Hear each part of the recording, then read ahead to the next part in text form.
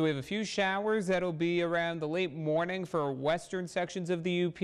It'll be a bit slow moving across the UP. It'll take until the evening to reach the eastern end of the UP. Then drier and warmer conditions on Sunday with high temperatures approaching the 60 degree mark. And then a stronger rainy system will be moving in for Monday. On the national picture, you can see all of this dry weather across much of the Midwest. It's going to remain dry tonight, and then it's this band of showers currently over the Dakotas that will be moving in for Saturday. The Monday storm system is just approaching the Pacific coast around Washington and Oregon. As of this afternoon, we've had our next tropical storm system named. It is currently producing some heavy rain along sections of the Florida coast, and Tropical Storm Nestor is producing winds about 50 58 miles per hour. Early tomorrow, it's expected to make landfall somewhere along the Florida Panhandle. It is currently moving towards the northeast around 22 miles per hour, and then it'll be heading through the Carolinas and then out into the open waters of the Atlantic by the end of the weekend. So this is really a story for the southeastern states, but there are some pockets of the Panhandle of Florida that could get as much as four to six inches of rain out of this tropical storm. Around here, we will not be seeing rain totals near that hefty.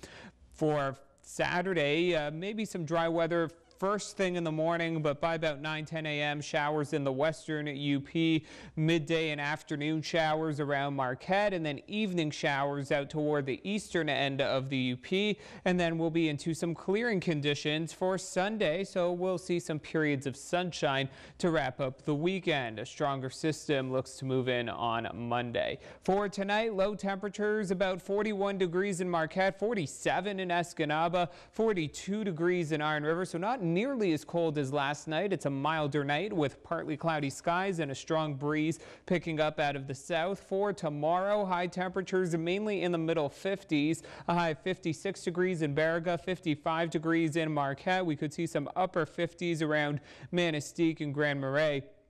And in Marquette, those showers are mostly in the midday to afternoon period. So for tomorrow morning, a chance of showers for western sections of the UP with temperatures in the lower 40s. For Marquette, showers are most likely in the afternoon. A breeze out of the south and highs in the middle 50s. That chance of showers will be moving off to the east during the evening and temperatures then in the upper 40s. Early Sunday, a low near 39 degrees, highs getting close to 60 degrees with brighter conditions And then a rainy and breezy Monday with high temperatures in the middle 50s. On Tuesday, it's going to turn cooler. High temperatures around 46 degrees with a potential of scattered showers. Mostly cloudy on Wednesday and Thursday. The rain chance there isn't zero, but it is looking pretty minimal for Wednesday and Thursday. And then with our low temperatures dropping close to the freezing mark, there's a chance of mixed precipitation or rain showers on Friday with high temperatures close to 40 degrees.